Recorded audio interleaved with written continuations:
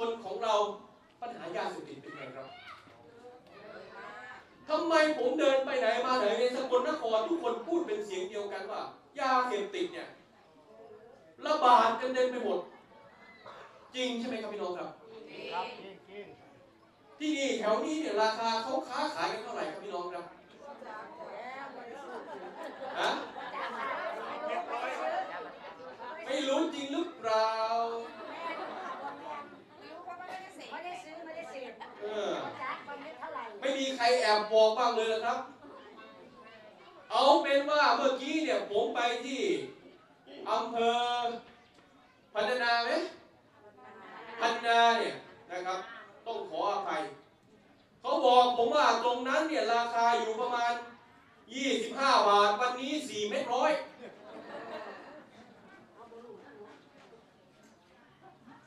ตรงอำเภอเมืองเขาบอกว่าไปกันใหญ่เนื่องจากเป็นเขตเมืองการขนส่งง่าย ห้าเมตรร้อย วันนี้ยาบ้าเข้าถึงง่าย แล้วถามว่ายาบ้าเป็นปัญหาไหมครับพี่น้องครับ เป็นปัญหา เพราะเป็นต้นกำเนิดของปัญหาอาชญากรรมหลายอย่าง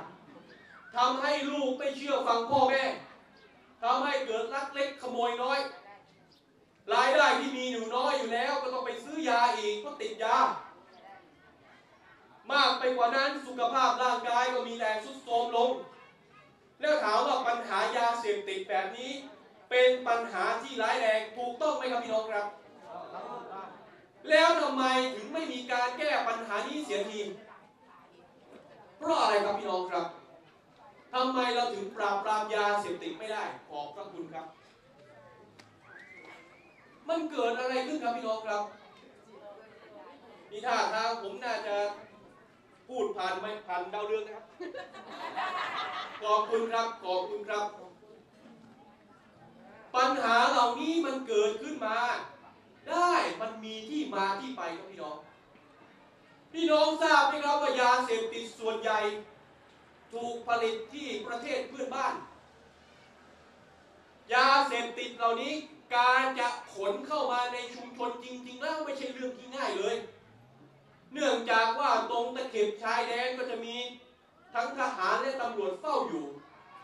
แต่ทำไมทหารและตำรวจเหล่านี้ตั้งด่านกันสารพัดแต่ทำไมยาเสพติดถึงมาถึงนี่จึงเป็นเหตุผล ที่ทำไมนายรังสิมันโรมคนนี้พักก้าวไกลพักนี้ เราถึงให้ความสำคัญของการปราบปรามยาเสพติดที่ต้นตอนั่นคือการจัดการ การทุจริตคอร์รัปชันในตำรวจและทหาร พี่น้องมักบอก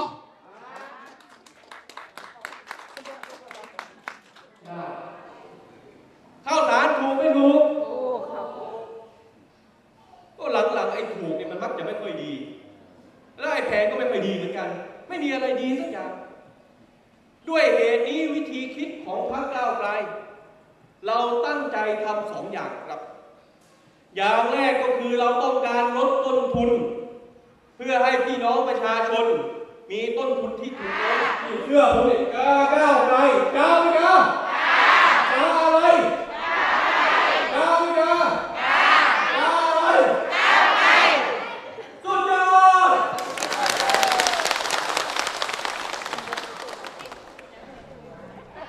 ให้พินโยขันติยูเป็นขอขอตัวแทนชาวสกลในทำหน้าที่เป็นว่า จากไร่นี้ รัฐบาลที่มาจากพี่น้องประชาชนที่เห็นหัวพี่น้องประชาชนทำนโยบายเพื่อประชาชน เอาไม่เอา ถึงเวลาหมดยุครัฐประหารก้าวสู่ปีที่ประเทศไทยของเราจะเป็นประชาธิปไตย เป็นปีที่นโยบายต่างๆที่ประชาชนจะได้เป็นใหญ่ การทุกคนเอาไม่เอา ไม่ใช่เรื่องเพ้อฝัน ผมมีตัวอย่างสองอย่างที่จะมายกให้พี่น้องฟังว่าเรื่องที่ผมพูดเป็นไปได้ เรื่องที่หนึ่ง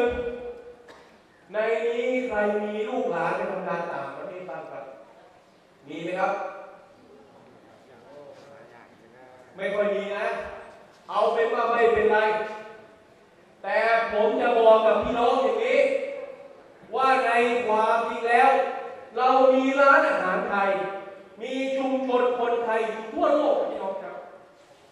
เอาแค่เอาเหล้าไทยไปวางขายในต่างประเทศ แค่นี้เราก็ไม่รู้จะผลิตเหล้าให้พอยังไง แล้วแต่อย่างไร ถ้าประเทศชาติของเรา อยากไปซื้อเรือดำน้ำโดยที่ไม่รู้ว่าจะไปรบกับใคร แล้วประชาชนจะอยู่ได้อย่างไร คิดที่จะปฏิรูปกองทัพเพื่อเอาเม็ดเงินเหล่านี้ กลับมาสู่พี่น้องประชาชน ถ้าพี่น้องชื่นชอบนโยบายแบบนี้ก็ช่วยปรบมือกันหน่อย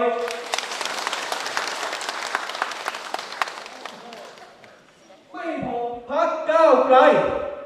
ถ้าเราได้เป็นรัฐบาลในรอบนี้ เราจะปิดสวิตช์สามปอเอาประยุทธ์เอาประวิทย์เอาอนุพงศ์กลับบ้านไปเลี้ยงหลาน เอาไม่เอาไม่ได้ขายข้าวที่ไม่เนี่ยไม่ได้ขายทำกินเองโอ้เอาเราจะไปซื้อทุกวันนี้เนี่ยเอาให้มันอยู่ให้ได้ในแต่ละวันก็ดีโหแล้ว นั่นจึงเป็นเหตุผลว่าเราต้องเพิ่มมูลค่ากับผลิตภัณฑ์การเกษตร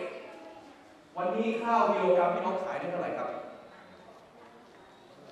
การผลิตของพี่น้องถูกลงเอาไม่เอาไม่พอ ไม่พอ ไม่พอ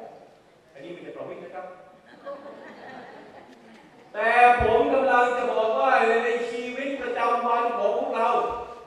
เราต้องใช้ไฟฟ้า อย่างน้อยที่สุดต้องใช้ไฟฟ้าในการชาร์จมือถือเพื่อดูรังสรวมอภิปรายในการแฉพลเอก ประยุทธ์จันทร์โอชาเอากับพวกบุญคุณเฮ็ดให้เฮาป่วยคือจะเฮ็ดให้เฮาป่วย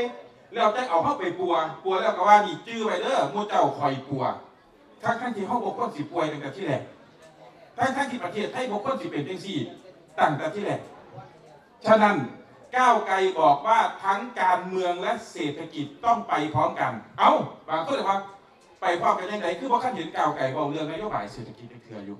เว้าครับ เฮาเว้าเรื่องนโยบายเศรษฐกิจแต่เฮาสิบ่เว้าแบบฉาบฉวยเฮาสิเว้าแบบลึกซึ้ง